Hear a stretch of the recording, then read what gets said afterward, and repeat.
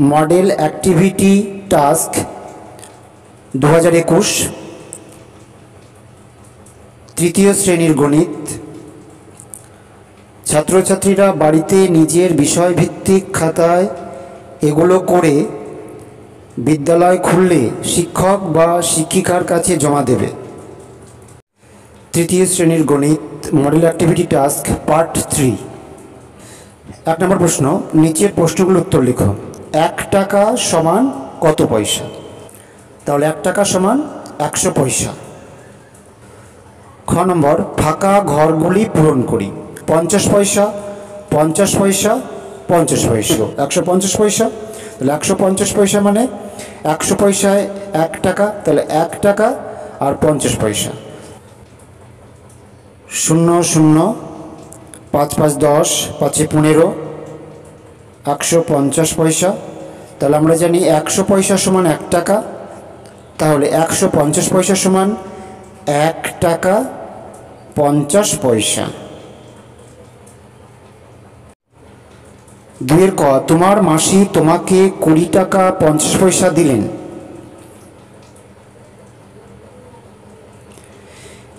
এবং তোমার পিসি তোমাকে তিরিশ টাকা পঞ্চাশ পয়সা দিলেন। তোমার মোট কত টাকা হলো? তার মানে মাসি তোমাকে কুড়ি টাকা পঞ্চাশ পয়সা দিয়েছে, আর পিসি তোমাকে তিরিশ টাকা পঞ্চাশ পয়সা দিয়েছে। তার মানে কুড়ি টাকা পঞ্চাশ পয়সা এবং তিরিশ টাকা পঞ্চাশ পয়সা, এই দুটো যোগ করতে হবে। তাহলে কুড়ি টাকা পঞ্চাশ পয়সা এবং তিরিশ টাকা পঞ্চাশ পয়সা যোগ করে দেখি কত পাচ্ছি? শূন্য পাঁচ পাঁচ দশ, একশো পয়সা, শূন্য তিন দুয়ে পাঁচ। তাহলে পঞ্চাশ টাকা, একশো পয়সা। তাহলে আমরা একশো পয়সা বলি না, কারণ একশো পয়সায় আমরা জানি এক টাকা। তাহলে একশো পয়সায় এক টাকা, আর এদিকে পঞ্চাশ টাকা। তাহলে একান্ন টাকা। তাহলে উত্তরটা হলো, আমার মোট একান্ন টাকা হলো দুয়ের খ নম্বর। রহিমের কাছে একটি দশ টাকার নোট একটি পঞ্চাশ টাকার নোট এবং একটি পঞ্চাশ পয়সার কয়েন ছিল।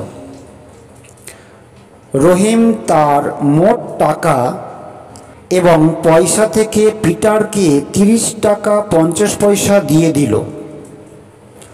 তাহলে রহিমের কাছে কত টাকা থাকল? তাহলে প্রথমে রহিমের কাছে কত টাকা আছে সেটা বের করতে হবে।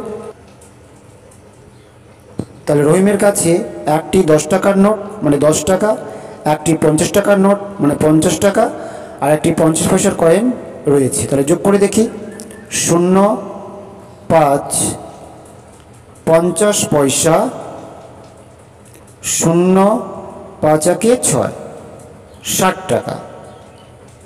তাহলে রহিমের কাছে ষাট টাকা পঞ্চাশ পয়সা আছে। তাহলে এখান থেকে সে পিটারকে দিল তিরিশ টাকা পঞ্চাশ পয়সা। তাহলে বিয়োগ করতে হবে। শূন্য। পাঁচ পাঁচ মিলে গেল শূন্য। শূন্য। ছয় থেকে তিনবার দাও, তিরিশ। তাহলে আমরা পেলাম তিরিশ টাকা। তাহলে রহিমের কাছে কত টাকা থাকল? উত্তরটা হলো, রহিমের কাছে তিরিশ টাকা থাকল। তিন নম্বর প্রশ্ন, একটি পিঁপড়ের ছয়টি পা আছে এই রকম আটটি পিঁপড়ের মোট পায়ের সংখ্যা কত একটি পিঁপড়ের যদি ছয়টি পা হয়, তাহলে আটটি পিঁপড়ের পা অনেকগুলো হবে তাহলে গুণ করতে হবে আমরা আটকে ছয় দিয়ে গুণ করব। তাহলে আটটি পিঁপড়ের মোট পায়ের সংখ্যা বের করতে পারব আট গুণ ছয়, তাহলে আমরা ছয়ের ঘর নামতা বা আটের ঘর নামতা পড়ব। ছয়টা আটচল্লিশ। তাহলে উত্তরটি হলো আটটি পিঁপড়ের মোট পায়ের সংখ্যা আটচল্লিশটি। চার নম্বর প্রশ্ন, সুজাতার কাছে পঞ্চান্নটি মার্বেল আছে। সে পাঁচজনের মধ্যে সবকটি মার্বেল সমান ভাগে ভাগ করে দিল। প্রত্যেকে কটি করে মার্বেল পেল? তার মানে সুজাতার কাছে পঞ্চান্নটি মার্বেল আছে, সে পাঁচজনকে ভাগ করবে।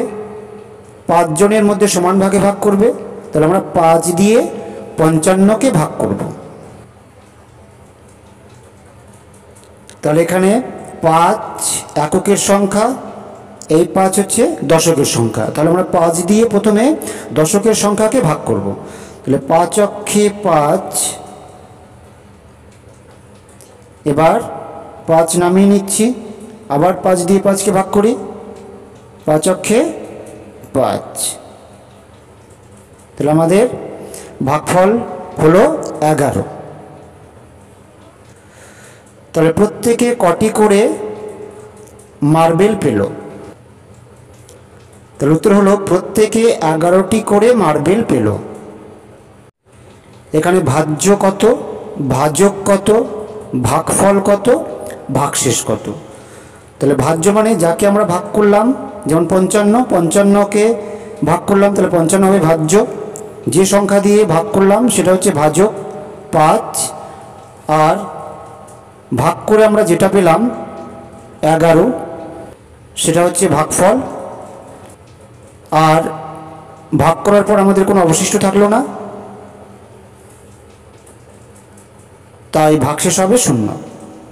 তাহলে ভাজ্য হলো পঞ্চান্ন।